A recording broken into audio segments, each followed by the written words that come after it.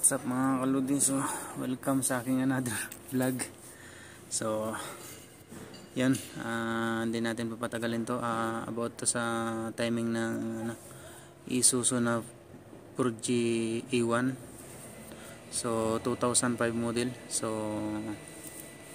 ano uh, ano lang ito nang discuss ko lang to ng mas nang mabilis kasi punta rito ang aking boss So, gusto ko lang i-share sa inyo paano ba mag-install ng timing o halimbawa magpapalit kayo ng injection pump ng Isuzu, Isuzu D-Max na 4GE1.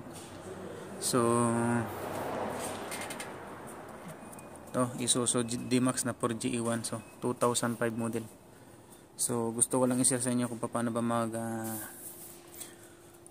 mag-install or magpalit ng ating fuel injector. So, mabilisan lang ito mabilisan ng disgas. So ito yung mga kaludi. So ito yung mga kaludi. So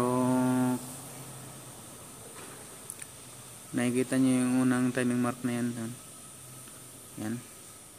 So kailangan tapat siya dito mga kaludi. So tapat natin Yes lang ito kasi ito yung amo ko eh. So yan mga kaludi ko nakikita niya. Yan. Yan mga kaludi. Yung timing mark so dapat nakatapat dito. So yan ito mga kaludi. So sa ilalim. So para masabi niyo, para malaman niyo na no, tapat siya dyan. So yan mga kaludi. Yan. ito